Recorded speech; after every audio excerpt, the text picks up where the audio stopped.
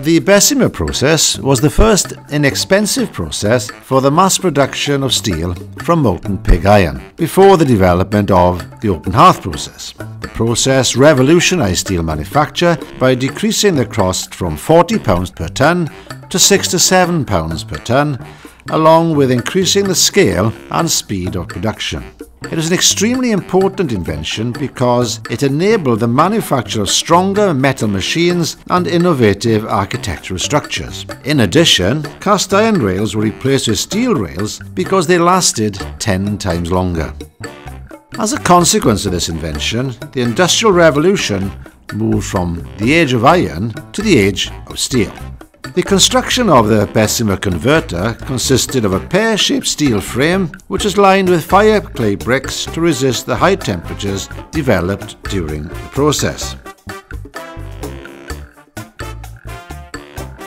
Excessive temperatures are prevented by the application of scrap iron to the converter.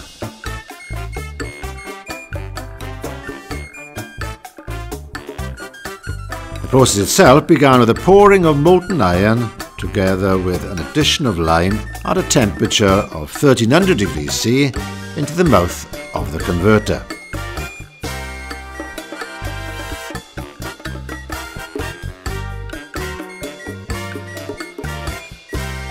A blast of air under high pressure was then applied to tuyeres located at the base of the converter.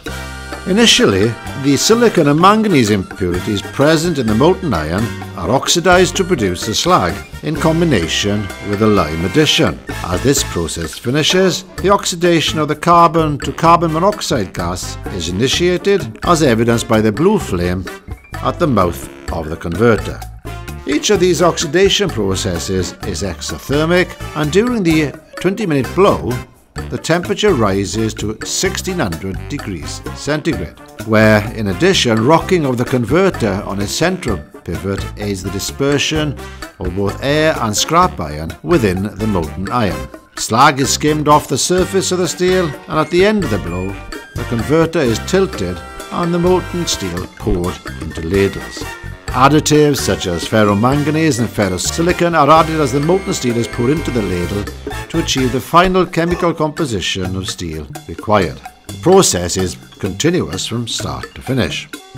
The Bessemer process produced up to 30 tonnes per blow compared to 400 tonnes with a modern BOS process, in a typical processing time of 40 minutes. Newer iterations of the process, in principle, work and operate in a similar manner. Newer designs incorporate a combination of bottom blow with high-speed top blow. This combined blow ensured both temperature and composition were homogeneous and the process became relatively quicker.